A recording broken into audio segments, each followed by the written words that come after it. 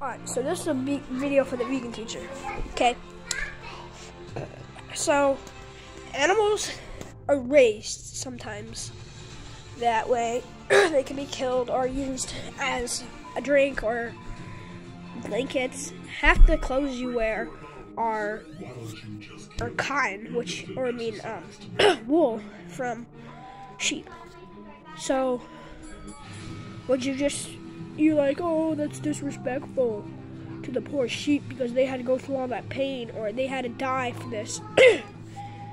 but if they died for it, then why just throw it away and leave it in the trash can for nobody else for it to just sit there and rot?